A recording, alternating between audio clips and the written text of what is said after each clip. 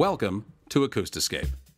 This video will walk you through the four steps to get your AS41 Hi-Fi landscape audio system going.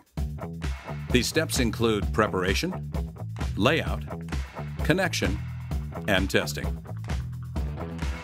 Inside of your Acoustascape AS41 system box, you'll find four mounting stakes, 12 silicon-filled wired nuts, four satellite speakers, an in-ground subwoofer, and the installation manual, which you can refer to at any time for assistance. Here are the additional tools you'll need for a smooth and simple install. Wire strippers, 14-4 direct burial wire, wire ties, a gardening shovel, an optional mallet, and a cable stripper is also optional, but recommended. Layout. First, begin by placing the satellites around the perimeter in your desired listening areas. The satellites should be planted about 6 to 8 feet or 1.8 to 2 meters apart from one another. For the best listening experience, place the subwoofer as close to the center of the satellite speakers as possible. The Acoustascape AS41 system includes four satellites, but you can expand to a total of eight in one system with the AS4 SAT speaker expansion packs. This will allow for perfectly even sound coverage in areas of up to 2,500 square feet. First, dig a 4 to 5 inch or 10 to 13 centimeter trench along the perimeter for running the speaker wires. Next, dig a hole for the subwoofer, leaving approximately 6 inches or 15 centimeters between the bottom of the mushroom cap and the ground. Please note that you will not bury the sub at this time, as you will need to test the system first. Now you are ready to run your 14-4 direct burial wire based on the layout of your system. Starting from the furthest speaker placement, run the wire to a location where you can connect the feed to your amplifier or receiver. Leave the wire attached to the spool until the last speaker has been connected. Wire installation. Start by creating a 6 inch or 15 centimeter loop of wire. Use the wire cutters to slice an opening at each end of the loop.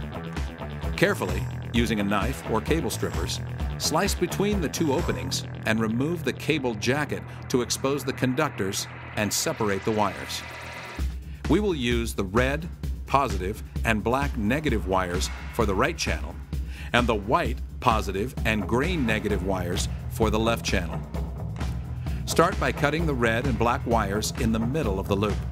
Next, use the wire strippers to remove approximately 1 inch or 25 millimeters of insulation to expose the copper wire. Twist the exposed copper wire conductor together to keep the wire from fraying. Partner the red conductor for the 14-4 cable to the red conductor for the satellite speaker. Evenly line up the wire jackets, checking to make sure the exposed copper is about the same length before twisting the three wires together. This will ensure a stable connection when the wire nut has been twisted in a clockwise motion. Wrap the connection point between the wire and the wire nut with electrical tape.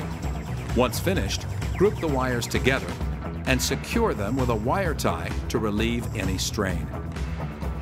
Repeat these steps for the left channel. Remember, white is positive and will be connected to the red wire on the end of the speaker. The green wire is negative, so it will be connected to the black negative wire at the end of the speaker. Wiring the subwoofer. When it comes to wiring the subwoofer, you will notice that the subwoofer has a four conductor wire and will connect to both the left and right channels of your receiver or amplifier. To connect the subwoofer, just repeat the same process as you did with the satellites, matching the four wires color for color. You can always refer to the manual if you need additional instructions. Testing the system.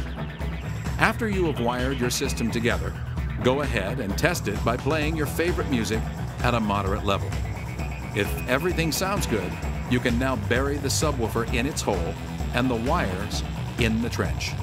Your installation is now complete. Enjoy the sound of paradise year round. For more information, please visit www.acoustascape.com.